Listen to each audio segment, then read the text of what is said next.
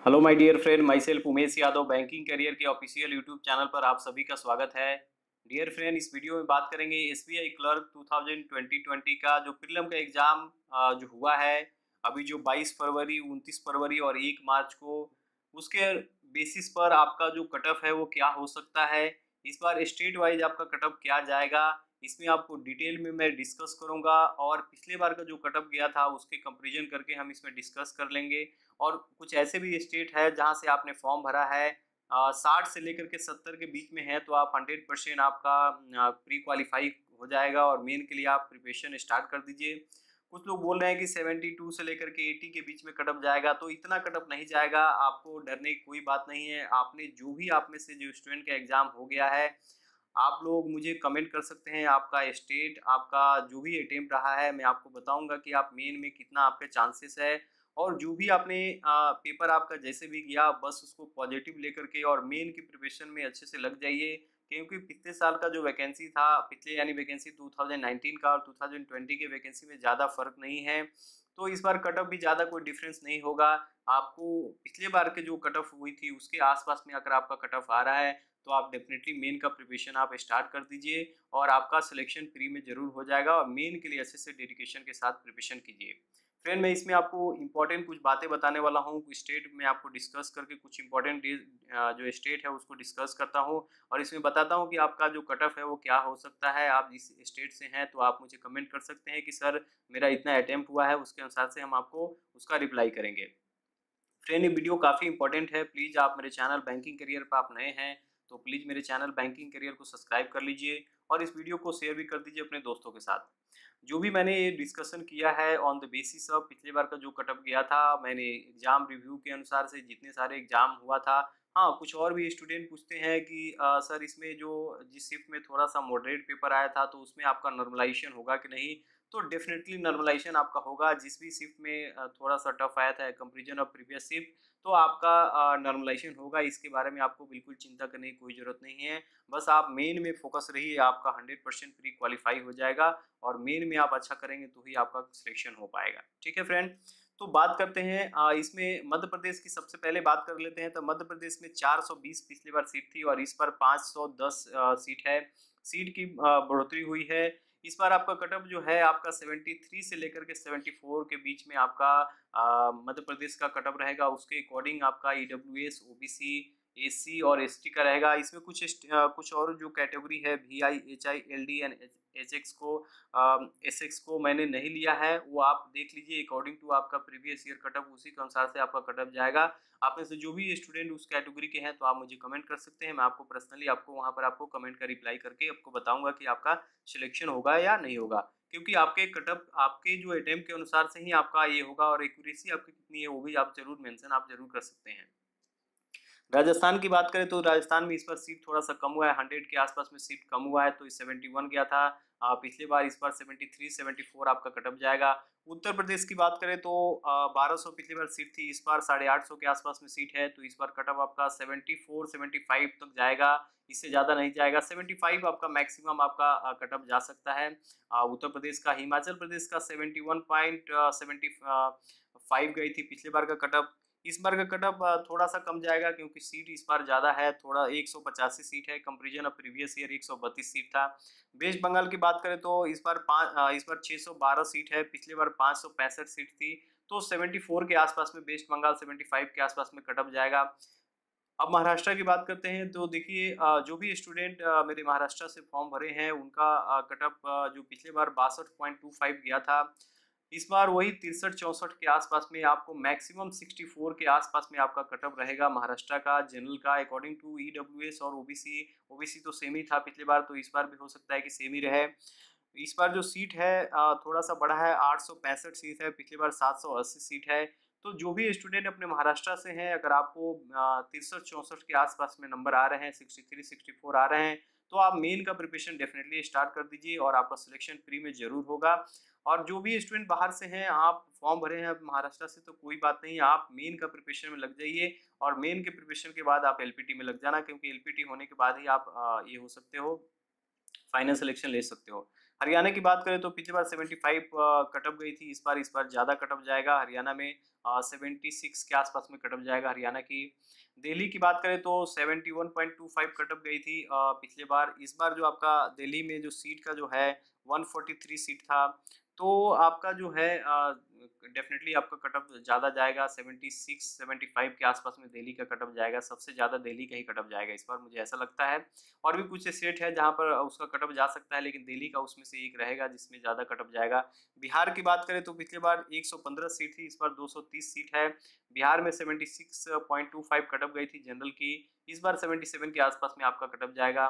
पंजाब वही, पंजाब भी 76.25 गई थी, पंजाब, हरियाणा तो इस बार पंजाब में भी सीट थोड़ा सा बड़ा है। तो आपका कटअप उसी के आसपास में जाएगा। आप अगर पंजाब से फॉर्म भरे हैं तो आपको इसके आसपास में आ रहे हैं सेवेंटी सेवन सेवेंटी एट के आसपास में आ रहे हैं तो आपका सिलेक्शन डेफिनेटली हो जाएगा। आप मेन की प्रिपरेशन के लिए आप लग जाइए। उसके बाद उसके बाद बात करते हैं छत्तीसगढ़ की बात करें तो छत्तीसगढ़ में फिफ्टी सेवन पॉइंट फाइव इस पिछले बार की जो कटअप गई थी और इस बार जो सीट है थोड़ा सा कम हुआ है। पिछली बार 230 सीट था इस बार 190 सीट 190 ही है। तो वहीं आपका 58 59 के आसपास में कटअप जाएगा। आ, सबसे कम यहाँ पर कटअप जा सकती है। गुजरात में 65.5 कटअप गई थी और इस बार चार सौ दस पिछली बार सीट थी और इस बार 550 सीट है। तो इस बार आपका कटअप इसी के आसपास में रहेगा। 64 65 के आसपास में आपका गुजरात का कटअप रहेगा। आप में से जो भी स्टूडेंट गुजरात से फॉर्म भरे हैं, आपको 64 65 नंबर आ रहे हैं। आपको आपको जो भी आपको नेगेटिव मार्किंग वगैरह यानी एक्यूरेसी के बेसिस पर आपको 65 64 के पास पास में नंबर आ रहे हैं तो आप डेफिनेटली आप गुजरात से क्वालिफाई कर जाएँगे। उत्तराखंड की बात करें तो 75.25 कटअप गई थी उत्तराखंड में। इस बार सीट में थोड़ा सा इंक्रीजमेंट हुआ है, एक सौ चौरासी सीट था पिछली बार और इस बार 230 सीट है। तो आपका इस बार जो है कटअप आपको थोड़ा सा ये होगा, इसी के आसपास में रहेगा नहीं सेवेंटी फोर सेवेंटी फाइव के आसपास में आपका कटअप जा सकता है। उसके बाद तमिलनाडु की बात करें तो sixty one point two five आपका कटअप गया था पिछले बार का। इस पिछले बार के कंपेरिजन में अप्रॉक्सीमेट सीट सेम ही है तो सिक्सटी थ्री सिक्सटी फोर के आसपास में आपके तमिल के जो भी स्टूडेंट तमिलनाडु से फॉर्म भरे हैं, उनको सिक्सटी थ्री सिक्सटी फोर के आसपास में आपको नंबर आएँगे तो आप इस बार क्वालिफाई कर जाएँगे। और भी कुछ स्टेट है, उसको देख लेते हैं। आंध्र प्रदेश की 74.75 आपकी कटअप गई थी पिछले बार की। इस बार ज़्यादा जाएगा क्योंकि यहाँ पर सीट का डिक्रीजमेंट हुआ है डिक्रीज हुआ है सीट इस बार आपको 77 के आसपास में आपका कटअप जाएगा। झारखंड की बात करें तो 75 पिछली बार की कटअप गई थी और इस बार जो है, इस बार सीट काफ़ी कम है तो आपका 80 81 के आसपास में यहाँ पर कटअप जा सकता है। जो भी स्टूडेंट झारखंड से हैं, उनका कटअप ज़्यादा जाएगा। झारखंड और दिल्ली का कटअप ज़्यादा जा सकता है। मेघालय की कटअप जो 66.75 गई थी तो इस बार आपका जो कटअप है मेघालय का लगभग उसी के आसपास में रहेगा। सीट भी उस, थोड़ा सा इंक्रीमेंट हुआ है।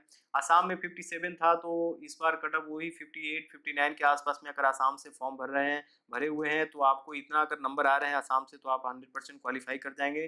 पिछली बार के कंपेरिजन में सीट कम हुआ है लेकिन आपको 58 सिक्सटी मैक्सिमम आप मान के चलिए कि आसाम से भरे हैं तो आपको साठ नंबर आ रहे हैं तो आप हंड्रेड परसेंट क्वालिफाई हो जाएँगे। तेलंगाना की बात करें तो इस बार तेलंगाना में सीट थोड़ा सा कम हुआ है पचास सीट की डिग्री डिग्री हुई थी पचास पिछली बार जो चार सौ पच्चीस था और इस बार तीन सौ पचहत्तर सीट आई है तो इस बार आपका सेवेंटी के आसपास में आपका कटअप यहाँ पर जाएगा।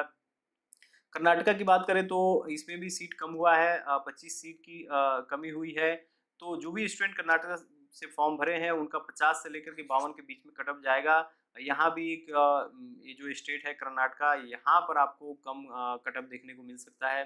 केरला में आपका कटअप हाई जाएगा सेवेंटी फाइव के आसपास भी आपका केरला की कटअप जाएगा, क्योंकि सीट में बढ़ोतरी हुआ है। उड़ीसा में आपका seventy three point five zero cutoff गया था पिछले बार। इस बार जो है, इस बार कम जाएगा। सत्तर के आसपास में, जो भी स्टूडेंट उड़ीसा से फॉर्म भरे हैं, सेवेंटी के आसपास में आपके नंबर आ रहे हैं तो आपका सिलेक्शन ज़रूर हो जाएगा। उसके बाद जम्मू एंड कश्मीर में इस बार सीट में 10 सीट का इंक्रीमेंट हुआ है तो 82 83 के आसपास में आपका कटअप जाएगा। चंडीगढ़ की बात करें तो इसमें 77.25 पिछली बार कटअप गया था, इसके आसपास में ही आपका कटअप रहेगा। देखिए, जितने सारे जो मैंने कटअप का डिस्कशन कर रहा हूँ on the basis of previous year cutoff और सीट का जो भी इंक्रीमेंट और हुआ है और डिक्रीज जो भी सीट हुआ है, उसके अनुसार से हम बात कर रहे हैं। और एग्ज़ाम का लेवल जो भी था, उसको अनुसार से सब ये डिस्कशन करके मैं बता रहा हूँ। आपका जो भी रिज़ल्ट आएगा, जब भी रिज़ल्ट आपका आएगा तो आप एक बार कटअप ज़रूर मिलाना क्योंकि आपका कटअप इसी के आसपास में रहेगा डेफिनेटली आपका कटअप इसी के आसपास में रहेगा। बाकी जितने सारे स्टेट और यूनियन टेरिटरी जो रह गए हैं, पिछले बार का, देखिए, पिछले बार का जो भी कटअप रहा है उसके अनुसार से आपका जो भी सीट रहा है जो भी आप आ, आ, उसके अनुसार से आप देख लीजिए और उसमें आप आ, प्लस माइनस टू से लेकर के थ्री मार्क्स आप कर लीजिए आपका डेफिनेटली उसी के आसपास में आपका कटअप रहेगा इससे ज़्यादा नहीं जाएगा। अरुणाचल प्रदेश में 56 के पिछली बार कटअप गई थी तो उसके आसपास में ही आपका कटअप रहेगा नागालैंड में 52.75 गई थी कटअप तो इस बार भी उसी के आसपास में रहेगा। सीट में इस बार सीट ज़्यादा जाएगा क्योंकि सीट में कमी हुई है। 40 सीट था पिछली बार और इस बार 14 ही सीट है तो इस बार 60 के आसपास में आपका कटअप जाएगा। जो भी स्टूडेंट नागालैंड से फॉर्म भरे हैं, वो आप देख लीजिए। गोवा से बात करें, मिजोरम से बात करें, त्रिपुरा की बात करें तो यहाँ पर जो प्रीवियस ईयर का जो कटअप था, उसी के आसपास में कटअप रहेगा। तो जो भी स्टूडेंट आप में से वहाँ से फॉर्म भरे हैं तो आप बिल्कुल परेशान मत होइए। साठ नंबर के आसपास में अगर आप आ रहे हैं तो आप हंड्रेड परसेंट आपके क्वालिफाई हो जाएगा।